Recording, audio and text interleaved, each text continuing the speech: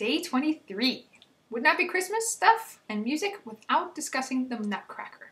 So, at the turn of the 20th century, the Nutcracker Ballet and Tchaikovsky's music was put together, but it was not a hit until 1954 when it was revamped to be a ballet targeted towards children and family audiences. And it is a staple of um, especially American uh, Christmas traditions. And you, there are multiple stagings of the same ballet work in cities all over the United States. Uh, it's kind of amazing. Dance, uh, you know, ballet is not something that most people go to, but so many people have gone to see the Nutcracker, and that is generally their only ballet experience, which is too bad because although the Nutcracker is fine, um, I've seen a couple other ballets that are much more interesting. So if, if the Nutcracker is the only ballet you've seen, you should really go see another show as well. But it's uh, very accessible to families and it's a lot of fun.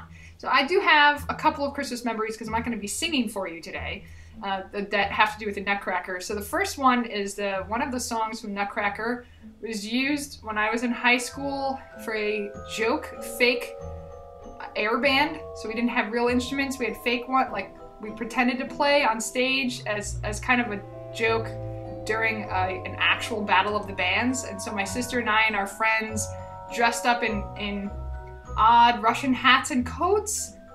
And while the real bands were changing, you know, their sets, their instruments backstage, we were in the front of the stage, and we did a, a whole routine to one of the dances from the Nutcracker, which involved the can-can and various things. And then we went into an air instrument version of blood, sweat, and tears. But there are vid- there's a video, but you can't see it because I can't make it digital. It's impossible. So, oh well.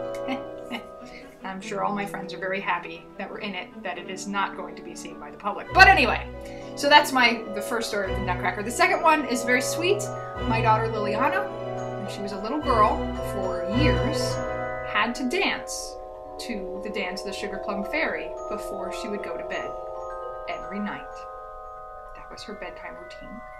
And then, just recently, just a couple days ago, I went to see my little nieces perform in the Nutcracker. One of them was a reindeer pulling a sled, and she was the best one. And the other one was a clown. And again, she was right in the center and knew her routine, and she smiled, and they were great. And I have to say, the Berkshire Ballet here was very entertaining. They were very, very good. So we enjoyed it. And I hope you get out to see the Nutcracker because it really is fun. And um, that's it. We have two more days left. I've been having a really good time doing this every day. Didn't know if I would actually get to it, but I have. Uh, so anyway, enjoy Tchaikovsky.